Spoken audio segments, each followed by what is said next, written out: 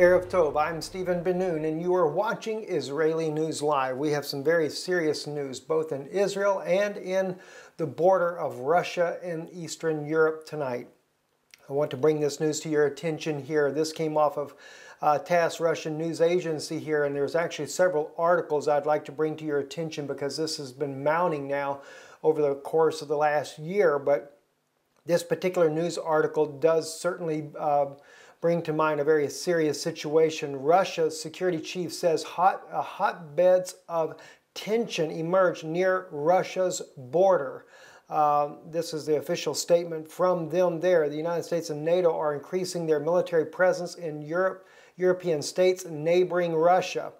Uh, says here uh, on September 1st, uh, the military tensions are being created and U.S. and NATO military presence is increasing near Russia's border. Russian Security Council Secretary uh, Nikolai uh, said on Tuesday. The United States and NATO are increasing their military presence. European states uh, neighboring Russia a hotbed of military uh, tensions are being created near our bar border, he says.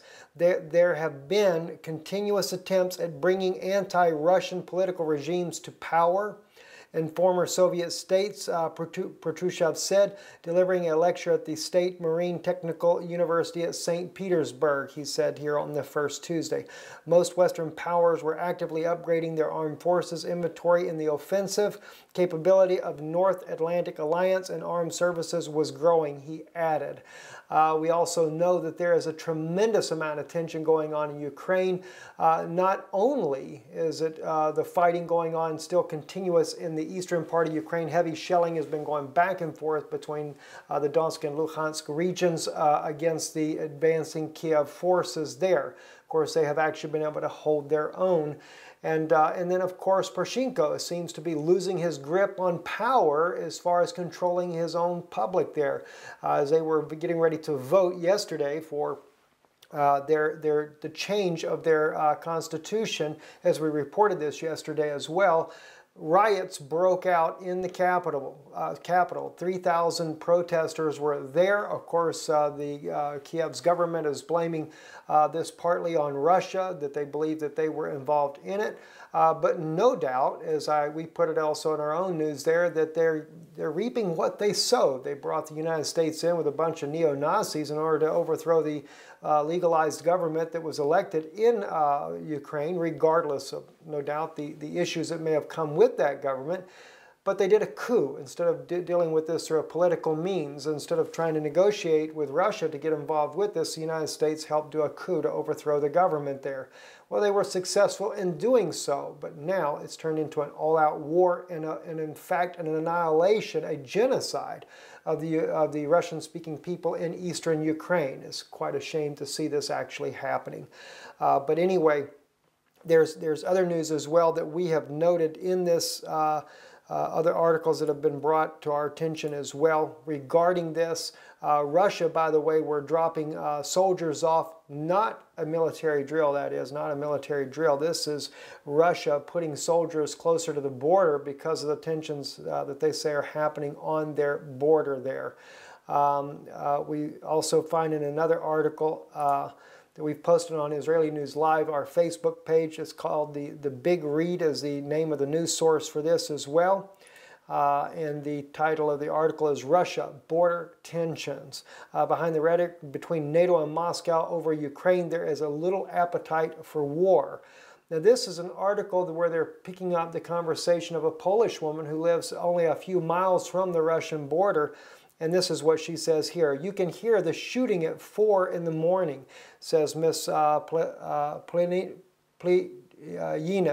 who lives in uh, uh, a small town a few miles from the border uh, with Kaliningrad, the heavily militarized Russian enclave squeezed between Poland and the Baltic states.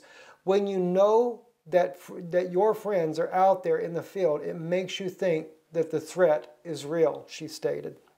Since the invasion of the annexation of Crimea early last year, as the article reports, and the subsequent conflict in the East Ukraine, the border between eastern edge of Europe and Russia has seen a surge in military activity, a public fear, the specter of uh, reinsurgent aggressive uh, Russia has spooked the likes of Poland and the Baltic states, where tens of millions remember decades of the Soviet rule, and every school child is taught of the invasion and annexation and attacks by the Moscow in the centuries past. Now, I, I might bring this a little bit home for us. My wife grew up in the former Soviet Union. She actually, when she was uh, a high school student, a senior in high school, is when uh, the former Soviet states were liberated. She was in the country of Slovakia. She was also uh, entering into medical school at the time.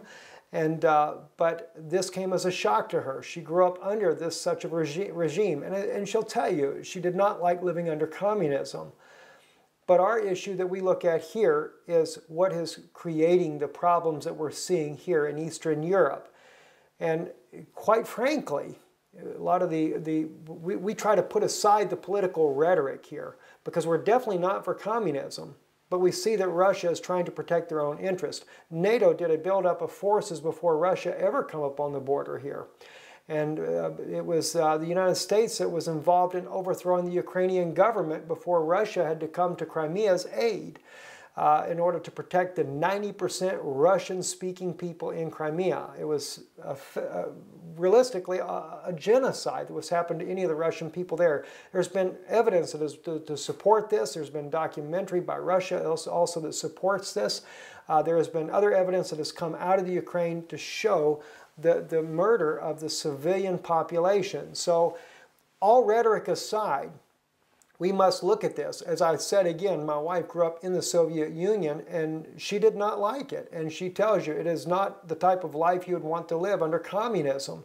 So we don't support communism, but then again, we don't support uh, a, a, globalist agenda where the United States is fighting the Vatican's wars and taking over lands as a, as a land grab of where they think that they should do.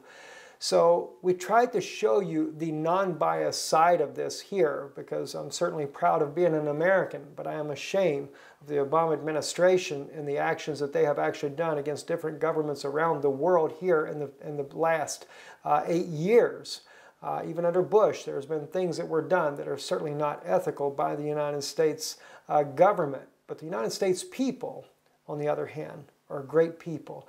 People that love, people that do care, a Christian nation, or at least at once was a Christian nation. There's still many believers there to stand for moral and, and doing the right things. But more and more, we're finding American citizens that are actually taking a side for Russia on this situation because showing at least their support that Russia does not appear to be the aggressor in this situation here, as we saw recently in Roy Jones Jr., the famous uh, uh, uh, boxer in America, undefeated boxer in the United States there, also uh, stepped forward and said there should be more dialogue between the two nations. Is something that doesn't need to come to blows such as this. Uh, anyway, in other news here, I want to bring to your attention here, we have a very serious situation going on in Israel in the Old City. And by the way, if you are visiting Israel, if you're visiting the Old City, I would caution you, especially at nighttime. Now, Israel has some of the most amazing security forces in the world, uh, without, a, without a doubt, but you must keep in mind too, they have a stand down policy when it comes to the Arab people there. And in the East, in the Jewish quarter, where Arabs are wanting to attack Jews, it is becoming increasingly more and more dangerous uh, to travel through there, especially at nighttime. I would think daytime is, is far safer by far uh, but just be aware and use caution when traveling at nighttime. Uh, of course, the Arabs, they are very much prejudiced. They hate the Jewish people and they attack the Jewish people. Uh, so uh, if you're not Jewish, then you have a heck of a lot safer time as far as that goes. But terrorism is terrorism nonetheless, and it's certainly appalling to know. Anyway, in the article here on Israel National News, this article here uh, actually came out uh, today as well. It says special security officer to guard Jerusalem's old city.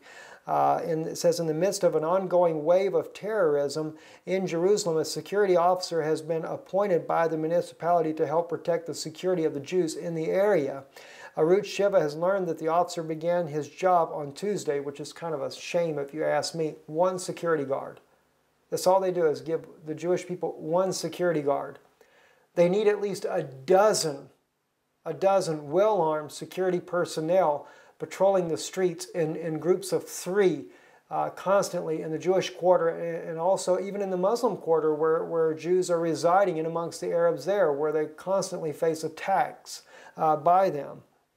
But anyway, it says here that Arutz Sheva has learned that the officers, uh, the officer began his job on Tuesday, joining a security officer appointed by the educational system and working on the behalf of the municipality and the Old City uh, neighborhoods, including the Jewish quarter. Last week, it was revealed that the housing ministry is, is operating a security system in the Old City Basin. Their quarters of the Old City, the Mount of Olives, uh, Shalach, uh, Silwan in the city of David, which suggests Jerusalem is uh, indeed under an intifada. I want you to hear that once again. The article states here that be, in, as a result that the security force had to be hired by the municipality and set up to guard the Mount of Olives, Shiloh, or Silwan as some people call it, and the city of David. Uh, also, uh, the Jewish quarter as well, uh, the, in the old, the old city basin there. It says, suggest Jerusalem is indeed under an intifada. Now, let's look at the statistics on this so it kind of gives you a better idea of why this is actually needed. In June and July, there were 580 terror attacks against Jewish civilians and security forces, including 477 stone throwing attacks at vehicles and 28 firebombing attacks on Jewish houses and vehicles. Other security incidents included throwing uh, empty glass bottles, shooting fireworks, and destruction of property. Jerusalem City Councilman Aryeh King pushes the council to appoint a security officer to guard the old city, uh, citing the hundreds of calls from residents who felt the city was not taking an active enough role in preventing the attacks. Uh, I can only imagine, though, what uh, the guidelines are for this, uh, to say the least there. Now, let me give you another example, though, uh, of, of a Jewish attack here. So, because like I said, some people think sometimes that these uh, stone throwing uh, cases are really nothing here. take a look on your screen here. This shattered out window here, this was a Jewish family uh, this is on another article on uh, Israel National News. Says Jewish families attack, uh, attacked by Arab mob in Shalach. It says here a group of Jewish families living in the Shalach or Silwan neighborhood of Jerusalem were attacked by an Arab mob on Monday. The group that was attacked on Monday were helped to move into the area by uh, uh, Kohanim an institution that has made it a priority to help facilitate uh, the redemption of Jewish property held by Arabs.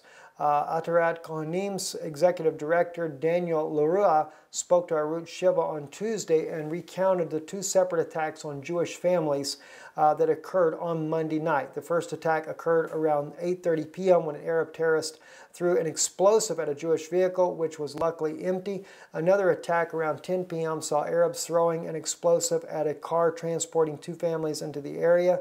The explosive was powerful. It burst uh, apart the steel mesh grid on top of the bulletproof uh, front window of the vehicle. And this is what you're seeing here. So this definitely was some type of explosive. It is a bulletproof glass and it has just destroyed this car's windshield there. But luckily the glass being bulletproof kept it from penetrating. The steel uh, cages on these vehicles are extremely thick. They're nothing lightweight there. Uh, hopefully I'll be able to put on the screen here for you as well, a car that we have as well that was attacked uh, on numerous occasions just to give you an idea how thick the steel grids are on them there. Uh, uh, according to Luria, police are investigating the incidents but have not yet arrested any suspects. They say the explosives used were stronger than regular fire bombs. Uh, the incident comes several days after another group of Jewish families reclaimed homes in Shalach last Thursday. Those homes are a part of the Beit Rachel complex uh, built on land that belonged to the Yemenite uh, Hakadesh the old Yemenite community of Jerusalem, which was founded in 1882. At its peak, 144 to 150 Yemenite Jewish families were living and thriving and successful in a Yemenite village on the slopes of Mount Zion overlooking the city of David. The Shalak Springs, the Temple Mount, and the Old City, many of the original Jewish buildings were destroyed by the Arab, uh, Arabs between 1938 and 1945 through the title of the land still, uh, excuse, through, through the title on the land still remained. Uh, anyway, just tremendous problems going on all over the world. Israel certainly the focal point of everything. Uh, NATO and Russia at each other's necks right there. Uh, you can only hope and pray that peace would come out of this situation, especially in the case of NATO and Russia. The last thing we need is a uh, is an all-out war between these two nations. Because believe me, if it goes into a war, it is going to be a major war. Nothing, nothing at all to sneeze at and both countries uh, possessing tremendous capabilities to annihilate the other country. And that's something that Yeshua actually stated uh, also that uh, they would be speaking of total destruction, which Iran is threatened to, to totally destroy Israel. Um, and Russia has made it quite clear they would use nuclear weapons if they saw that they were not winning a war. So, very serious situation indeed. Uh, anyway, I'm Stephen Ben-Nun. You're watching Israeli News Live. Shalom